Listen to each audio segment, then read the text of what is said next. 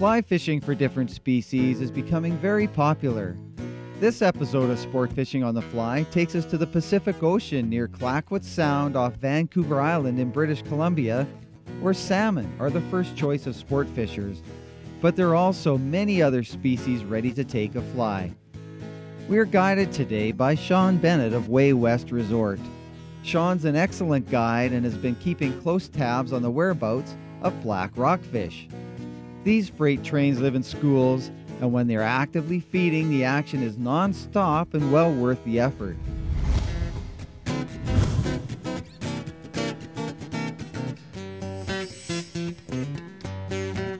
Right, bass fishing. Oh, I'm looking forward to you know, I've been looking forward to this for a long time. Oh, you bet. Hey everyone, welcome to Sport Fishing on the Fly. And today it is bass fishing, but it's not freshwater bass fishing, saltwater bass fishing for some black rockfish. And these are little horses, these guys. Yeah, it's going to be fun.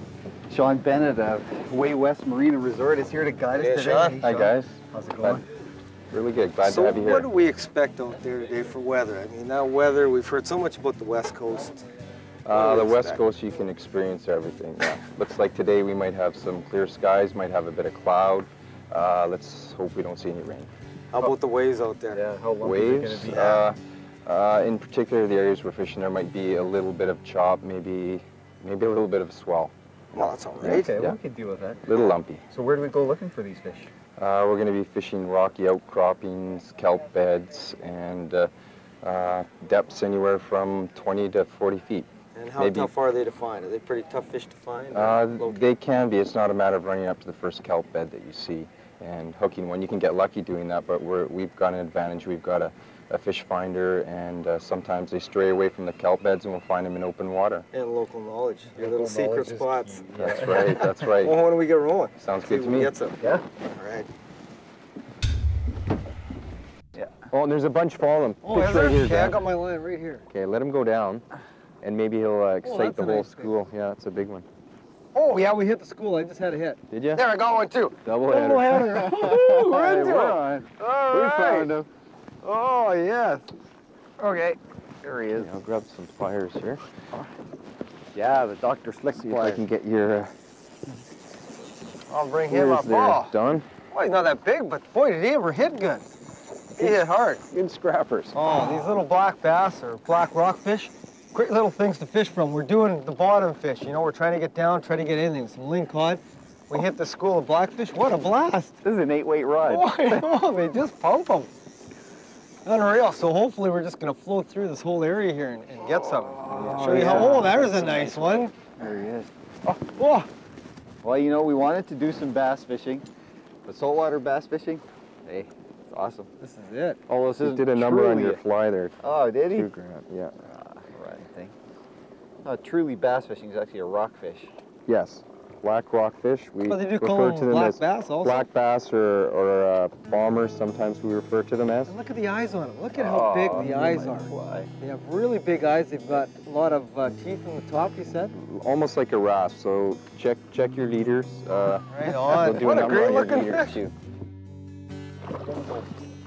Oh, good Taking line on you. Yeah, he's taking line. Well, Sean, you found them. You know, you said you had Finally, to yeah, find the yeah. school, go in search of them. Use a sounder, and they're not always in the kelp. They can be uh, within 300 yards of the kelp. Oh, yeah, yeah, we found the yeah. school for sure. There's a lot of action going on. Boy, is that ever a blast when you get into them, though? It's every cast. That's right. Oh, they're look at they're this not guy too go. picky, but when they're feeding aggressively, you'll pick them up every cast. Look at the line he's taking, too. That's what we're seeing. Uh, you know, the Pacific salmon isn't the only species to come out for when you come to Way West. You can get into these. Uh, oh, there's a nice Oh, one. that's That's nice, nice big size. black bass. It's not black gla- it's not glamour fishing like the salmon, but there's still lots of Oh, fun. Oh, that's a, fun, yeah? oh, and you hook one Fishing's every about cast. fun. Oh, is it ever? Man, oh man. Oh, your fly just popped Oh, out it just there. popped right out. Good. We want to show everybody these fish. A little bit about them. You have a little bit of a, a spine, the back here, and these can uh, these can yeah. cause a little bit of pain if you get. And also, they got the real big eyes, like we were saying before. And inside their mouth, they've got the real raspy part. You're saying the real. yeah, this this will do a number on your on your tippet. If uh, if the if they take it deep, they'll work they'll work on your leader and you'll bust them off. All right, on. Um, but you're setting the hook as soon as you feel the tap. A lot of times they'll take it on the way down and they suck it in and you'll snap them off.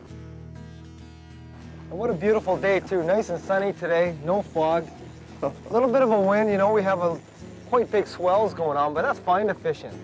I think you have to expect that out here on the west coast. You're gonna Yeah. be fishing in That's a right. little rougher water. Not- Early morning, later evening, uh, late, just before dark, uh, the wind settles down, the swells. But you can you can experience anything out here. Yeah, so be prepared when you come out here. Make sure you got the rain gear for sure. Dress warm, because that wind is always cool. Well, that's a nice one. What a good with fighter. Oh, we've definitely good found the fighter. Found the hole.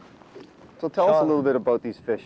Uh, Because they're not really a, they're not a bass, they're not no, a they're cod. not a typical rockfish because they don't sit they don't sit on a rock pile at the bottom. They're they're transient. I feel they're transient. They school and they move about. Uh, we're we're off the kelp bed. Uh, like I said, you can still find them in the area if you use your sounder as a tool. Okay. Um, but uh, travel the whole surface uh, or from surface to the bottom. So they travel the whole water column. Okay. And uh, And the spines, like this is just one of a family of fish. That's right. It's the rockfish family, and they're just a little bit different than, than the normal rockfish that people jig up with jigging lures. Uh, they're a little more available to the fly fishermen, Yeah. and they're great sport. What a blast. Yeah. Like fishing for bass is great. And there's, there's a a lot few- more there too. Yeah, there's a few shown on the sounder.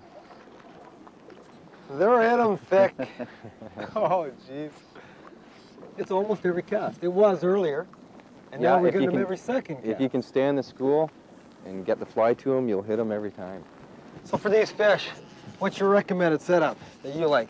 Uh, just like you're fishing, they're an eight weight, uh, good quality reel and drag, uh, as well as some heavy sinking lines. That we're getting them fairly shallow, but when they're when they're sitting a little deeper, that's a nice fish. Yeah. You, you're using uh, sink tip lines uh, or shooting heads, 250 grains right up to 450 grains. Okay, and as far as the grains now, that's just like steelhead weights and salmon that- weights. That's the actual weight of the tip of the head, Yeah. and then you usually have a floating line or running line uh, off that head. These are complete uh, lines. They're not they're not connected in a shooting head system at all. Okay, and also we've got about uh, eight feet of, of leader material on there, six to eight feet.